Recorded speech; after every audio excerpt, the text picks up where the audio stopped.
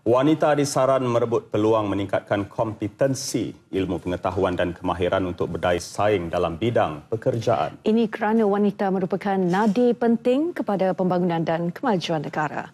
Isteri Perdana Menteri Datin Sri Rosmah Mansur berkata, kreativiti wanita mampu menjana pelbagai inovasi yang boleh membawa perubahan positif. Wanita kini telah membuktikan kemampuan dan kelayakan untuk menjawat jawatan penting dan memimpin sesebuah organisasi. Beliau berbangga wanita turut boleh bergerak progresif dan berpeluang menyumbang secara aktif kepada pembangunan negara.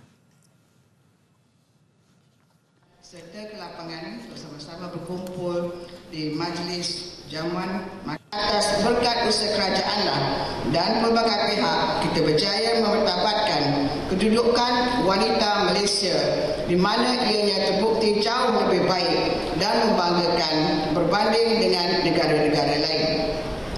Sedikit perkongsian dengan perempuan sekalian, statistik menunjukkan bahawa pada tahun 2016, sebanyak 52% tenaga kerja di dalam sektor pekerjaan adalah kaum wanita.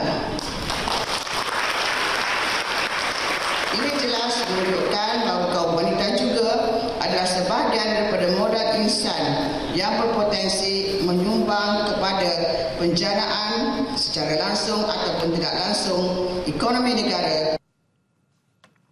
Datin Sri Rosmah berucap pada majlis makan tengah hari bagi meraihkan tenaga kerja wanita sempena sambutan Hari Pekerja 2017 di Sri Perdana Putrajaya.